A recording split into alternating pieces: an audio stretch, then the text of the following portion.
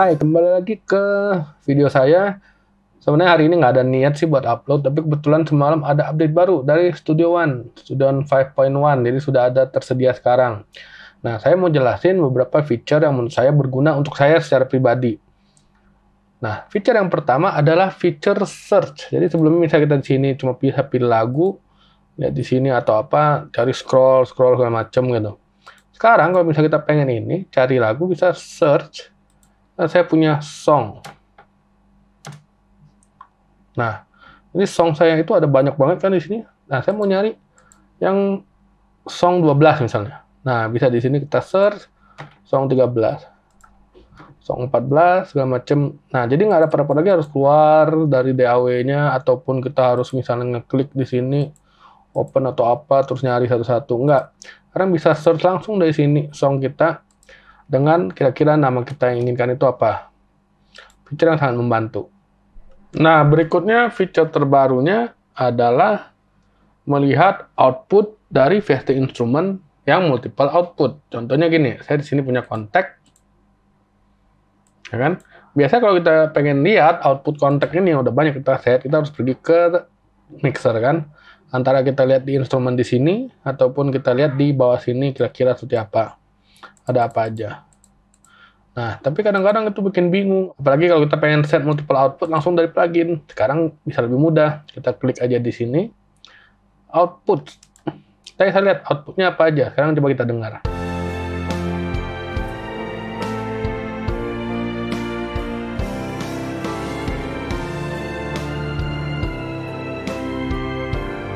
output yang kita punya kelihatan langsung di sini terus pilih yang kedua yang ketiga keempat. Kalau kita mau matikan misalnya. Atau kita pilih lagi.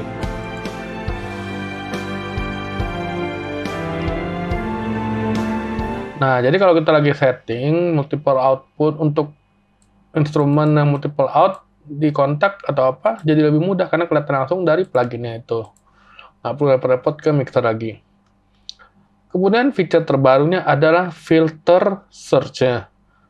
Jadi kita sekarang bisa search nama track dari sini langsung. Dari tracklist ini. Hmm. Misalnya gini, saya kebetulan belum setup nama baik-baik, terus bingung nyarinya kan. Ini kan track banyak ini, bingung mau gimana. Cari aja. Kebetulan saya mau nyari yang KH. KH itu ke hunter string saya. Nah, dia langsung setup di sini. Terus kalau saya misalnya mau cari Philharmonic saya, Philharmonic langsung jadi gampang banget kalau sebelumnya kita mungkin kalau kita grup ini KH ini dia jadi grup pack folder misalnya. Nah kita kan harus gini lagi buka satu-satu. Kita bisa aja bikin di sini KH sebagai grup kalau kita nggak mau dia kelihatan. Tapi kalau kita pengen ngelihat dia setelah itu kita klik lagi KH muncul di dalam itu. Mempermudah search bahkan bukan hanya search di tracklist sebelah sini kita juga bisa search di mixer. Search ini Nah, sekarang udah ada filter di sebelah sini. Jadi kalau misalnya saya punya output ini saya tahu out itu adalah Philharmonic, saya cuma pengen mixing Philharmonic dulu gitu. Saya tinggal ketik outnya di sini. Jadi yang keluar langsung adalah track-track Miroslav Philharmonic tersebut. Atau misalnya saya mau klik yang betulan saya mau setting aux-nya kontak aja. Nah, bisa langsung ada di sini. Jadi ini mempermudah kita untuk bekerja, artinya kita bisa mengetik dan mencari nama sesuai dengan track yang kita inginkan.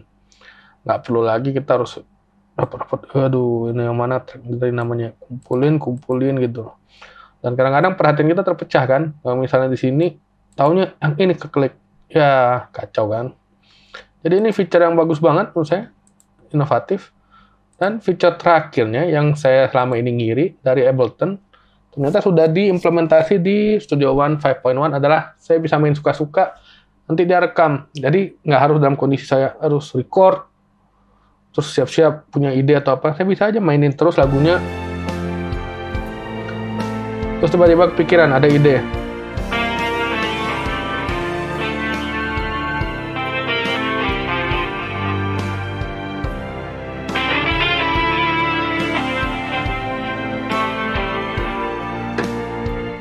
tapi habis itu saya pengen record kan misalnya, terus saya bingung, tadi main apa ya, main kayak gimana ya? Gimana ya? Kok coba record nggak dapet? Nah, kalau pengen dapetin permainan sebelumnya waktu lagi nyantai doang, tapi bisa kelihatan lagi direkam langsung, kita pergi ke sini lagi. Track inspector seperti biasa. Turunkan sini sampai ada retrospective recording. Nah, retrospective recording itu kalau saya klik Nih ya, apa yang saya mainkan tadi ketika saya santai, santai, nggak perlu pusing record, ada lagi di sini.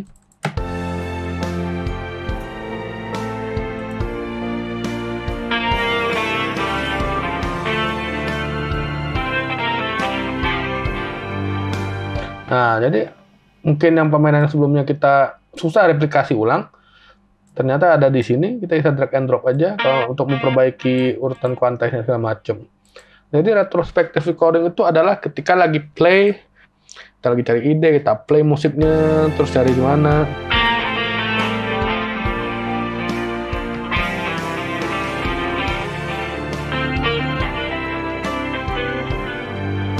Nah, kalau misalnya kita pengen balikin lagi, apa yang direkam barusan, klik retrospective recording, balik lagi yang kita rekam tadi.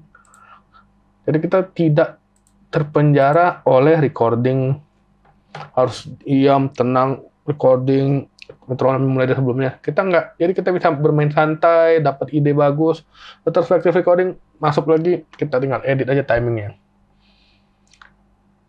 Oke lah, jadi menurut saya itu feature terbaru dari Presonus Studio One 5.1 yang terbaru, yang semalam baru rilis, yang menurut saya bakal berguna banget untuk saya. Ada feature-feature lainnya berkaitan dengan Atom, uh, sama external instrument yang menurut saya tidak terlalu berpengaruh karena saya nggak pakai.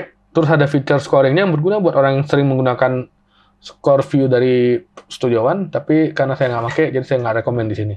Oke, sekian, terima kasih.